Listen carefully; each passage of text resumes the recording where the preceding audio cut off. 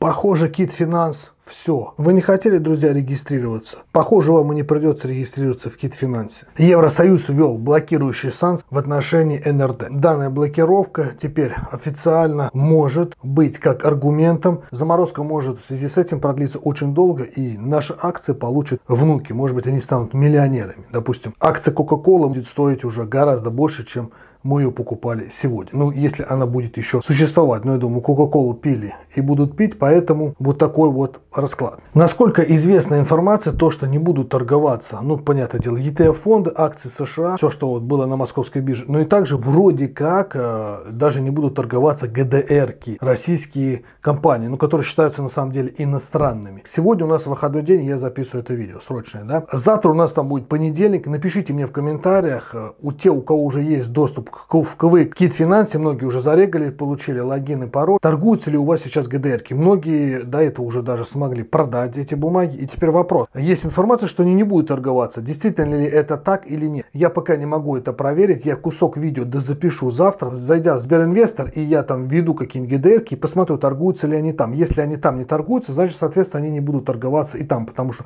структура московской биржи, она одна. Что там э, Мосбиржа, что здесь Мосбиржа, и там они в рублях, и здесь они в рублях. Мы посмотрим чуть далее не переключайтесь, смотрите в этом видео, и мы убедимся. Если действительно перестанут они торговаться, то вообще нет смысла открывать даже счет. Я хоть его открыл, но смысла уже суетиться нету, потому что полная, тотальная будет блокировка. Неизвестно, когда она снимется. Может быть, она и когда-то снимется. Выпишут какую-то там лицензию, разберутся, где олигархи, где не олигархи, и нам, обычным инвесторам, будут платить. А может быть, еще раз говорю, все достанется нашим внукам. Это в лучшем случае. У меня, сейчас э, скажу, какой капитал. У меня где-то 380 тысяч тысяч именно моих инвестированных в акции США, 70 тысяч где-то в фонды. Про фонды у меня будет отдельно следующее видео, мы там поговорим, и я там расскажу, что произошло еще с одним фондом и мое мнение отношение к фондам, поэтому обязательно нужно сделать подписочку, если вы еще не подписались, нажать на колокольчик, чтобы не пропустить это видео. Там мы поговорим. И значит в фондах у меня было 70 тысяч и где-то сколько? Ну 380 акций США. Итого где-то совокупности 450 тысяч вот тотальная заморозка. Плюс еще ГДР, я не знаю сколько там у меня, 100 150-200 тысяч, ну, если их не заморозят, то окей, отлично. Если их заморозят, то, увы, где-то тысяч, сколько тогда, под 500, под 550 у меня, в принципе, там зависнет. Значит, какие у меня здесь есть мысли? Если ГДРки, в принципе, заморозят, компании, может быть, захотят конвертировать эти ГДРки, вот как сделала Лента. У Лента была на Лондоне, да, она конвертироваться, сейчас она зарегистрирована в России. Если такое, э, каждая компания за там Руса, Global Trans и тому подобное, будет ништяк. То есть эти компании будут, в принципе, торговаться на российском рынке. Но вопрос, если они будут делать конвертацию, скорее всего, конвертация будет опять идти через эти банки Нью-Йорк Меллон, Ситигрупп, американские банки, и, скорее всего, тоже через этот мост, да, с Евроклином. Соответственно, скорее всего, они не смогут сделать конвертацию. Самое главное, за чей счет они будут делать. Если они сделают как лента, возможно, вообще не будет даже выгодно их конвертировать. И придется либо их реально продавать, а продать мы их не сможем, либо конвертировать. Но опять же, конвертировать я скорее, скорее всего думаю, мы их тоже не сможем из-за этого моста. Есть другой вариант, то что эти бумаги автоматически начнут торговаться на московской бирже, и мы их начнем покупать, но они уже будут, как говорится, в ру-зоне. Мы начнем их уже покупать. А вот эта вот часть, которая будет там, либо она сгорит, либо она конвертируется неизвестно когда. Может быть такое, то что количество акций, которые у нас были там, нам добавят такое же количество акций на наш счет. Только они уже будут в рублевой зоне. Но я сомневаюсь, это, наверное, растраты будут. Те они, что ли, погасят, а эти нам выплатят. Только вопрос, как это будет происходить. Вот такие я вижу сценарии. Максимум, что мы можем здесь увидеть, это торги их на московской бирже. И мы их сможем покупать, но, скорее всего, уже заново, а те так и останутся. Будем посмотреть. А вот все, что касается фондов и американских акций, здесь, конечно же, все у нас печально. Известно, чем это все закончится, как это все решит. А фонды вообще, я говорю, могут и к тому времени распродать и обанкротиться. Даже если их распродадут, то мы деньги все равно не сможем получить, потому что вот этот мостик сломан. Э, деньги-то должны будут приходить из Европы, а там от свифта все отключены, непонятно что и как. Честно скажу, вот эта вся ситуация, как бы я позитивно не относился в предыдущих роликах, сейчас реально меня уже стало честно сказать, накалять. Не то, чтобы я там приуныл, но некая такая, не то, чтобы нервозность, ну, несправедливость какая-то есть, да. Ты понимаешь, блин, то, что ты там накапливал, тебе просто взяли и обрубили весь твой капитал только потому, что, да, у тебя там паспорт не той страны. Есть такая некая несправедливость, да вообще, э, я уже давно понял, что жизнь, она несправедлива, и это факт, и с этим нужно смириться, набираться где-то все равно, мотивация идти дальше. Нужно понимать, что инвестиции – это риск. Если ты вложил куда-то деньги, ты уже должен осознавать, что ты можешь отдачи получить ноль, потому что это риск. Неважно вообще, куда ты вложил. Гарантии, как правило, нигде нету. Разве что во вкладах, и то, опять же, не везде. Поэтому это будет очередным нам уроком. Урок нам будет с ETF-фондами, урок нам будет с инфраструктурой. Очередной у нас будет э, урок то, что диверсификация по странам по ходу уже не работает. Все, что было раньше, сейчас все абсолютно в корне меняется. Сейчас, возможно, нужно будет, наверное, в России инвестировать через российского брокера, в иностранные, скорее всего, через иностранные. Но опять же, иностранный брокер это тоже такое себе, там конские комиссии, там тоже могут сказать тебе, дружище, за дверь, потому что у тебя не тот паспорт, который нужен да, для того, чтобы заниматься брокерскими операциями. Очень много нюансов, но я скажу далее, я в принципе не отчаиваюсь, я буду продолжать дальше работать на российском рынке. Просто нужно понимать, если ты уже привык откладывать, уметь зарабатывать деньги, то ну, смысл их не инвестировать. Они все равно будут подъедаться, они все равно будут обесцениваться. Да, можно в принципе держать и на вкладе, хоть как-то это будет сохраняться, но э, мне кажется, нужно будет дальше искать другие инструменты. Есть еще российские акции, есть облигации, депозиты, недвижимость, пожалуйста, разбираться и дальше. Ну и уже осознавать риски. Сейчас действительно мы столкнулись с такой ситуацией, ну просто все, что могло и не могло, и даже нельзя было предположить, случилось, и это сделало, сильнее закаляет, и мы получили реально очень много опыта. Я тоже поначалу делал ошибки, когда начинал инвестировать, тоже слушал каких-то других блогеров, что-то где-то делал, но я старался все равно сам все это дело изучать, но там все топили э, корпорации США, там дивидендные аристократы, но я думаю, о, классно, да, там Coca-Cola, все вот эти компании, Макдональдс, и тоже покупал. Потом я осознал, что американский рынок, э,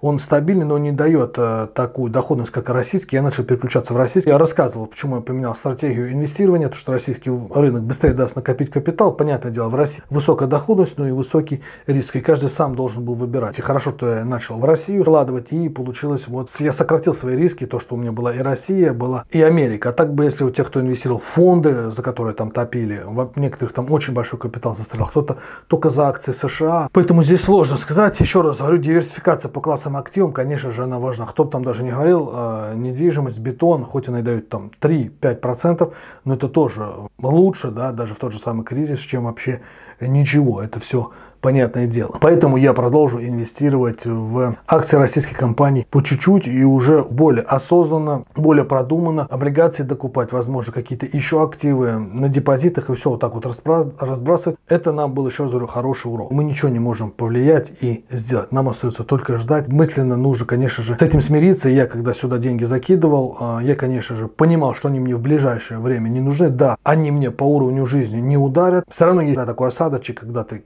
копил, собирал, трудом их зарабатывал, где-то даже себя ущемлял, да, и у тебя бах просто – в один момент обрубили, да, твой капитал, причем, ну, не маленький. Опять же, вот эти акции США и все это покупалось, э, потому что, да, мы смотрели других блогеров, потому что мы сами были новички, но большинство блогеров, они сами новички, заводят YouTube канал, и те же самые, когда фонды, да, покупались, когда покупались американские акции, хочу сказать, мы опять же кого-то где-то слушаем, кто-то более-менее чуть-чуть выше профессионализм, чем мы, и мы надеемся, полагаемся на них. Эти люди сами имеют 2-3 года от силы опыта в рынке, да, а мы-то имеем меньше, на самом деле 2-3 года в рынке это совсем ни о чем то есть это вот столько вот. И я тоже первый год, полтора тоже где-то как-то прислушивался, что-то слушал. Ну, старался, конечно же, сразу же вникать, читать. Поэтому я начал выбирать отдельные акции. Из-за того, что мы там где-то кого-то послушали, скопировали, вот такие вот у нас результаты. Опять же, лозунги аристократы, те фонды, не надо ни в чем разбираться, покупай, и твой капитал будет автоматически разбираться. Ничего, друзья, автоматически не будет.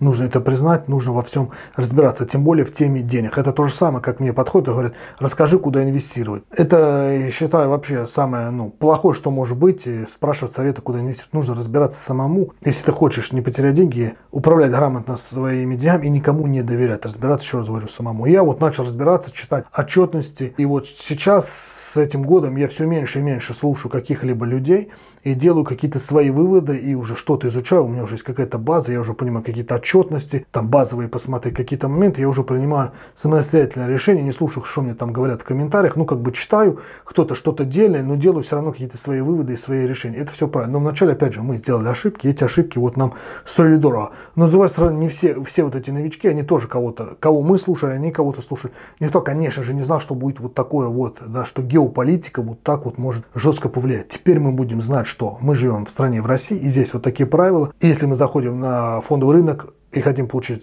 большую доходность, мы должны вот это в уме держать. Значит, на фондовый рынок столько, туда столько, туда столько, чтобы. Если что-то где-то было заморожено, то мы нет-нет все равно могли просуществовать, у нас все равно шли какие-то другие источники дохода. Активный заработок, может быть, что-то с недвижимостью, может быть, что-то с облигацией, да, даже облигации, несмотря на закрытие биржи, они все равно выплачивались, да, в отличие от акций. Акции могут отменить, дивиденды, облигации платят всегда. Очень много разных активов, там депозит, он по-своему хорош. Акции иностранные, может быть, тоже хороши, но нужно понимать, как в наших условиях с ними работать. Возможно, нужно будет свалить в другую страну, открывать там счет, но опять же, там тоже могут сказать тебе, извини, потому что у тебя не тот паспорт. Очень много много нюансов, и это все опыт, я вот сейчас это все стал понимать, да, и с каждым годом мы будем все лучше и лучше понимать. С одной стороны, это хорошо, что в какой-то степени это случилось, у нас будет некий такой кругозор. Вот тот, кто не становится, того, кого это не сломлет, тот, мне кажется, более квалифицированным и классным инвестором в будущем станет. Поэтому здесь есть и свои плюсы, и, конечно же, свои минусы. Забыл немного позитива добавить.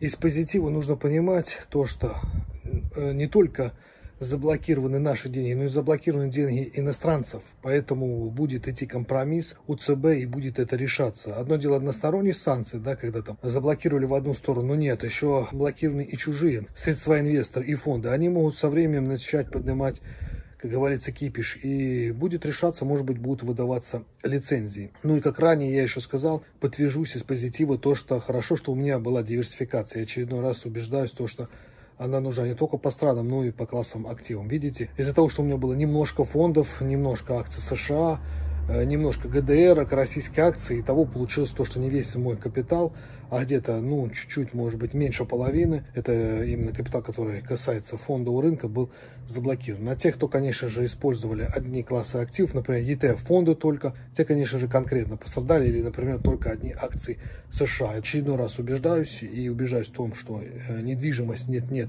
несмотря на заморозку, свои там 3-4% мне доприносило, как говорится, квартиранты платили четко и вовремя. Это нужно тоже понимать. Так же, как и облигации. Несмотря на что, они тоже платили. И жалко то, что с облигацией начал добавлять чуть позже в портфель. А вот надо было их больше добавить, возможно, бы больше было бы выплат и больше бы сохранялся, возможно, капитал. Некоторые мои друзья говорят вот так, что, что нужно жить сегодняшним днем, типа все тратить. И вы знаете, иногда, после всех вот этих событий, да, я, я иногда думаю, блин, а может быть они реально были правы. До этого я был категорически против такого метода. Думал, например, сегодня намазывать одну булочку с икрой в будущем две, а потом уже позволять столько, сколько ты хочешь. Ну, то есть поначалу разумно управлять, а потом капитал тебе позволит то, что ты хочешь. То есть не спеша, а рационально. Но сейчас я задумаюсь, может быть, действительно, да, стоит жить сегодня, ничего не откладывать. Здесь есть второй фактор, который реально меня останавливает, это, а вдруг что-то случится, да, как говорится, или где-то что-то, а у тебя есть капитал, ты можешь позволить себе хорошую медицину, что-то купить, что-то подремонтировать, да. А тот, кто живет сегодняшним днем и кайфует в моменте, он уже в этот момент не будет кайфовать, ему нужно будет думать, какому соседу пойти к какому банку, где взять и дадут ли ему вообще деньги. Поэтому, как по мне, вот эта вот ситуация морально все равно у меня побеждает и заставляет меня откладывать, ну, чтобы погасить некую панику, некий стресс и быть немножко уверенным в завтрашнем дне, когда есть капитал какой-никакой, чем нежели сегодня на эмоциях ты кайфуешь и не осознаешь, что будет дальше. Но иногда вот такие вот мысли у меня просвечивают, что, блин, а может быть они действительно правы, но пока все равно эти мысли, их меня не перебороли, я все равно убежден, что откладывать все равно важнее, чем жить сегодня на широкую ногу. Если акции в Кит Финанс торгуются ГДР, то тогда, я думаю, есть смысл открывать брокерский счет. По крайней мере, либо докупать на свой страх и риск ГДР, да, которые хорошо просили, либо их продать и сохранить капитал, который остался у вас. Здесь уже каждый должен для себя принять решение. Я пока, еще раз говорю, сейчас завтра посмотрю, как происходят торги. Если они есть, то я, возможно, буду устанавливать квик, разбираться и хочу посмотреть вообще, как они там отображаются, правильно там средние цены и тому подобное. Я его как бы уже скачал, но у меня руки пока не доходят его разобраться и установить то то, то то, то пятое, то десятое. Если в принципе акции не будут торговаться, ну пока остановлюсь, нет смысла его устанавливать и дальше. Ну может быть установлю, чтобы видеть, посмотреть, правильно ли количество акций, только лишь для этого. А так, если у вас не горит и вы не планируете, можно не устанавливать. Дальше, что касается комиссии депозитария, то возможно будут, кстати, брать комиссию с депозитария, вот эту 001 НРДшну. Но с другой стороны, введены санкции, мы не можем пользоваться бумагами, они мы заблокируем. С другой стороны, какого фига мы должны платить? Может быть, в условиях НРД есть такое, то, что мы будем все равно платить вот эту вот комиссию 0001, не в зависимости от того, что бумаги как бы хранятся, лежат, можешь ты ими распоряжаться, не можешь, это не волнует, мы будем платить. Пока неизвестен этот вопрос, может быть и будем платить, а может быть и НРД из-за санкций жалуются, и мы ничего не будем платить. Поэтому на этот вопрос сложно ответить. Здесь остается, еще раз говорю, только ждать. Вот я зашел в Сбербанк Инвестор. Сегодня у нас понедельник. Вот, утро, торги только начались. Я смотрю то, что торги в Сбербанке ГДРками есть. Вот, пожалуйста, пятерочка торгуется. Видите, вот в режиме реального времени они дергаются. Потом у нас э, фикс прайс идет, даже Яндекс. Вот ГДРки, видите, торгуются. Значит, наверное, имеет смысл счет открывать. Вот торги идут, значит, та информация, которая была, она была